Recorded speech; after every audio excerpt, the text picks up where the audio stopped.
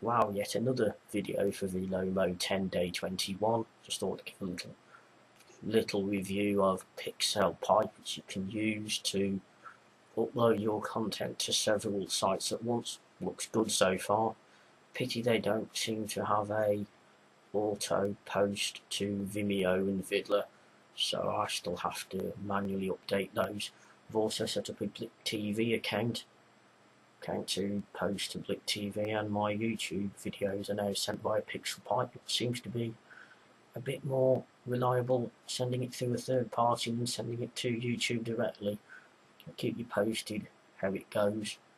I'll also at some point I will post a link to my Blip TV account. Till then, speak to you later.